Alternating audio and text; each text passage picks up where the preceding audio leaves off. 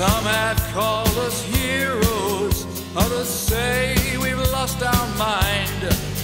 Some have called us visionaries, others say that we've gone blind.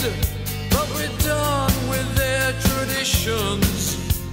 We don't want to get trapped, so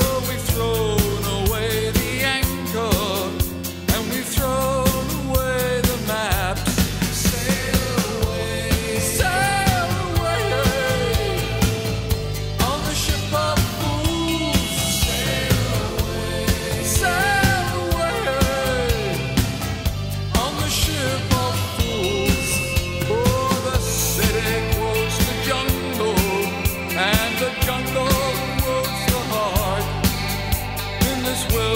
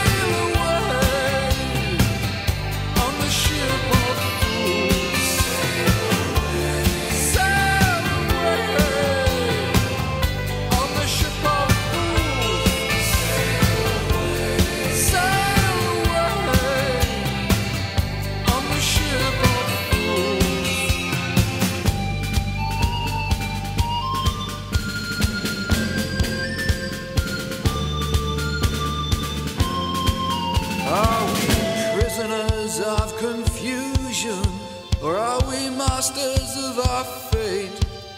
Are we caught in this illusion? Is it really all too late?